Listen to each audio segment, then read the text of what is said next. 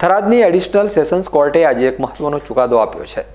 વર્ષ બે હજાર સત્તરમાં થરાદના ઘોડાસર ગામમાં બનેલી હત્યાની ઘટનાના આરોપીને થરાદ કોર્ટે આજીવન કેદની સજા ફટકારી છે.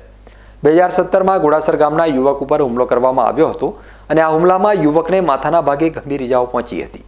ત્યારબાદ સારવાર દરમિયાન આ યુવકનું મોત નીપજ્યું હતું. બાદમાં હુમલો કરનાર આરોપી સામે થરાદ પોલીસ મથકમાં હત્યાનો ગુનો નોંધવામાં આવ્યો હતો અને પોલીસે તેની અટકાયત કરી હતી. આ કેસ આજે થરાદની એડિશનલ સેશન્સ કોર્ટમાં ચાલી જતા. સરકારી વકીલ આર ડી જોશીની ધારદાર દલીલોને પગલે મેજિસ્ટ્રેટ બી એસ પરમારે આરોપીને આજીવન કેદની સજા ફટકારી છે. રોજ આ કામના ફરિયાદી કલ્પેશજી ગુજરાજી ઠાકોરે રાજ પોલીસ સ્ટેશનમાં આવી પોતાની ફરિયાદ હકીકત આઈપીસી ત્રણસો બે મુજબના ગુનાની જાહેર કરવામાં આવેલી.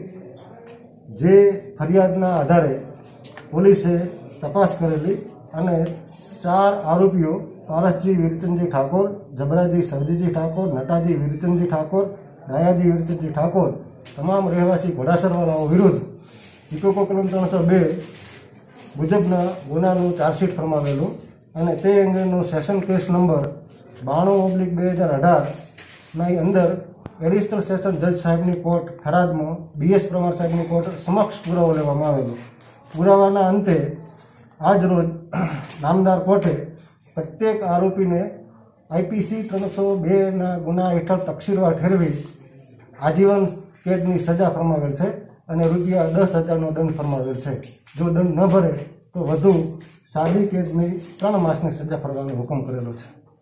આ ગુનાનું કારણ કલ્પેશ ગુજરાતીના બનેવી કોચલાના ટ્રેક્ટર લઈ અને ઘોડાસર મુકામે આવેલા હતા અને સાંજે પરત જતા હતા. એ વખતે આરોપી નંબર વારસજી વીરચંદજીએ ટ્રેક્ટરની આગળ ઊભા રહી અને તેને આડા થયેલા હતા નજવા દેવા માટે કોશિશ કરી હતી. એ વખતે આ ફરિયાદીએ ના પાડતા પારસજી અને તેના બીજા ભાઈઓ ઉશ્કેરાઈ જઈ હાથમાં જીવનો હથિયારો ધારણ કરી આવી અને કલ્પેશજીને મારવા જતા તેના બાપા ગુજરાજી વચ્ચે પડતા રુદ્રાજીની માથામાં જીવલેણ ઈજાઓ પહોંચાડેલી અને એમનું મૃત્યુ